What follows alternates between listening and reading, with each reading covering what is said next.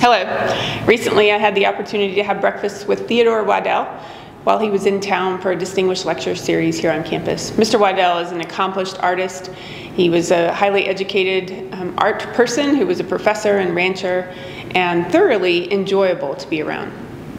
During this conversation at breakfast, he kept referring to how much he learned in his life. He learned so much. He learned a ton. He learned a lot as he's recounting his experiences. I loved it. I hope that when we're 82, we have adopted and embraced the idea of how much we're learning instead of knowing it all. Have a good week.